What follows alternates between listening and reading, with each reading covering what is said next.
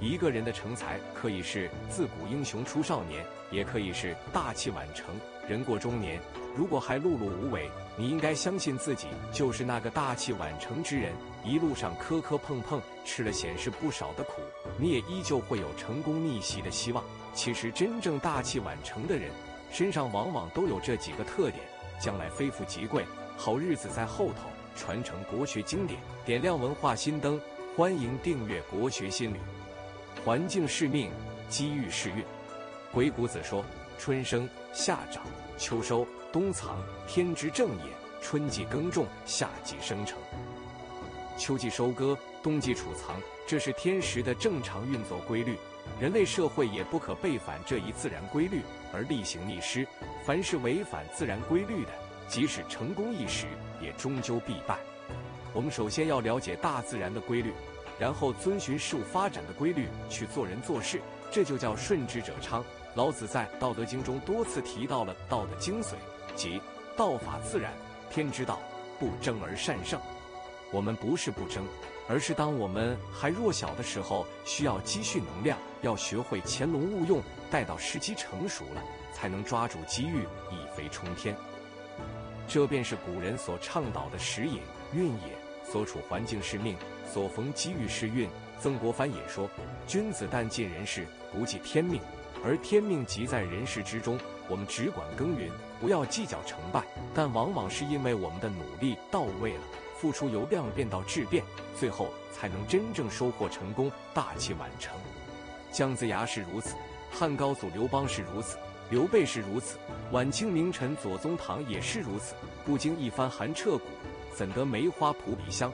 这个世界上没有随便随便的成功，每一份成功后面都埋藏着无数的艰辛与汗水。所以说，大器晚成，天之正也。懂得隐忍，小不忍则乱大谋。懂得隐忍的人，才是那个厚积薄发、一鸣惊人的大器晚成之人。其实，我们对田忌赛马的故事都耳熟能详。大家最后都只是关注了谁赢谁输，关注了事情的处理方法，殊不知其中有着隐忍的大道理。马分为上中下三等，用下等马去应对别人的上等马，差距之大，耻辱之大，可能没有几个人能够接受。但是要只有接受了自己下等马与别人的上等马之间的差距，接受了这一份耻辱，你才能等到后面用自己的上等马去比别人中等马。用自己中等马去比别人的下等马，那种威风、耻辱永远是一时的。只要我们能够熬得过，便能得到最后的胜利。越王勾践的忍辱负重、卧薪尝胆，最后换取了越国的兵强马壮；孙膑的忍辱负重、装疯卖傻，换回了一条性命，更换取了最后齐国的繁荣昌盛。屈辱只是一时的，唯有懂得隐忍，方能得到最后的成功。心态很好。一个人要想成功，好的心态是必不可少的。因为人生无常，人情反复，事如崎岖，没有好心态，怎么能够撑到最后人生下半场？比拼的往往是心态和健康。谁要是能够笑到最后，谁才是最终的赢家。现在很多年轻人心浮气躁，刚刚进入社会就马上想买房子、升职加薪、创业成功等等。但是这一切都是不现实的，因为少有一蹴而就的成功，成功都需要一个过程。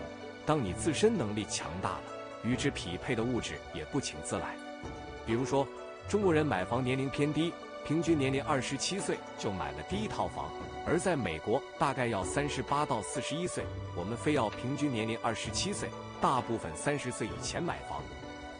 你的能力和你的欲望要匹配，怎么买得起呢？于是，国学大师曾仕强劝年轻人说：“如果太着急，那就是虐待自己，自然感觉焦虑。所以不急反而好了。你不急会会培养出有恒的这种修养，而有恒才是成功的根本。”星云大师也告诫年轻人：二十几岁，人生还早，他再努力个十年，三十多岁大概就可以了。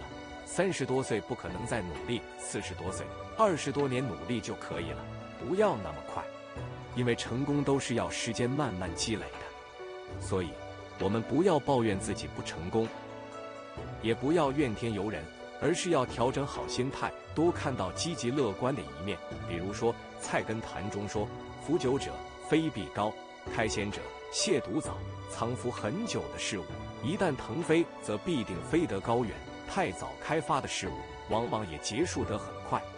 若我们时刻提醒自己成功是大器晚成，则会对未来充满信心，心态更加积极乐观。这样一来，我们即便是面对挫折磨难，也会把它当成是成功的垫脚石，愈挫愈勇，再接再厉。在日积月累的努力中，我们也会在无形中接近成功，让大器晚成就像水到渠成一样。喜欢独处，很多人经历了一次失败。就已经是处于自暴自弃的状态，终身难以翻身。而能够大器晚成的人，在面对困难的时候是不会轻易的放弃的。耐得住寂寞，才能守得住繁华。只有静下心来，你才能专注的做事情，去一次次靠近你想要的目标。真正大器晚成的人，喜欢独处，坚持做自己，不会人云亦云的随大流。他们能够在逆境中隐忍蛰伏，不断磨练自己的才能，在机遇出现时牢牢抓住，从而一鸣惊人。寂寞当然是容易让人空虚孤寂的，它会让浅薄的人变得浮躁堕落。但寂寞也是最容易个让一个人产生大智慧的，会使睿智之人变得更加深刻。现代社会人心浮躁而功利，面对众多的诱惑，要想耐得住寂寞，绝非易事。所以人们也才说，这个时代是一个缺少大师的时代，因为大师几乎都是大器晚成的，都是能耐得住寂寞的。耐得住寂寞是一个人心智成熟的标志，也是一个人大器晚成的特征。但凡大器晚成之人，往往都会有一个无人看好、无人支持、无人鼓励，甚至周围人都反对的阶段。这个阶段，只有寂寞陪伴自己。而这段寂寞时光，恰恰是沉淀自我、提升自己的关键阶段。只要能坚持下去，只要能熬得过去，就有柳暗花明的一天。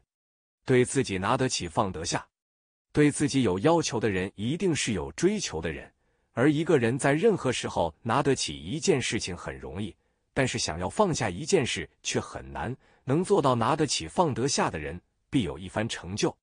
很多人会问“拿得起”是什么意思？其实是用自己的肩膀承担起自身所需要承担的重量，不惧困难，勇敢的往前进，拥有一颗强烈的责任心去做好每一件事，同时对自己的目标不断朝自己想要的方向去前行，这就是拿得起。相反方向就是应该去舍弃一些东西。很多人不愿意舍弃，是舍不得。往往放下自己应该舍弃的东西，是一个人最大的智慧，也是对未来的一个赌注。我们要知道，只有把自己身上多余的东西卸下来，才能更好的轻装上路。所以，那些拿得起、放得下的人，自身非常有担当与责任。所谓大丈夫能屈能伸，拿得起、放得下，才是深藏不露的人。作家张爱玲说过：“出名要趁早，来得太晚的话，快乐也不那么痛快。”于是。很多人理解为成功要趁早，但早早成功是不符合自然规律的。这就好比是水果还青涩的，便被人摘了下来，用催化剂催熟，它还能有成熟的那份甘甜味道吗？可以说，正是因为张爱玲的这句话，耽误了很多年轻人，让年轻人更加浮躁，错误学习，揠苗助长，最后欲速则不达，又变得怨天尤人，荒废了大好青春。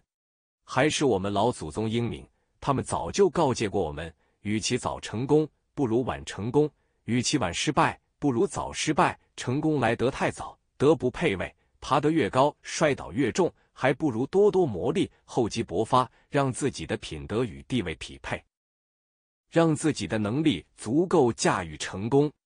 其实，真正的成功都是大器晚成。孟子曰：“天将降大任于斯人也。”必先苦其心志，劳其筋骨，饿其体肤，空乏其身，行拂乱其所为，所以动心忍性，增益其所不能。苦难和成功总是对等的，吃得苦中苦，方为人上人。你若是想有大成功，就必须遭受岁月的打磨，挺过去了，才能大器晚成。一切都是最好的安排。曾经吃过的苦，走过来的路，都会化为一种无形的力量。推动我们迈向成功，所以说，真正的成功都是大器晚成。大器晚成才是最美好的人生。朋友们，您赞成大器晚成的说法吗？以上就是今天的全部分享。如果你也喜欢本期内容，欢迎持续关注、点赞、订阅。